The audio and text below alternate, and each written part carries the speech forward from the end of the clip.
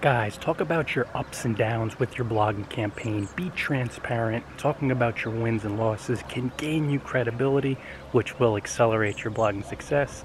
Signing off from the orange groves in beautiful Turkey.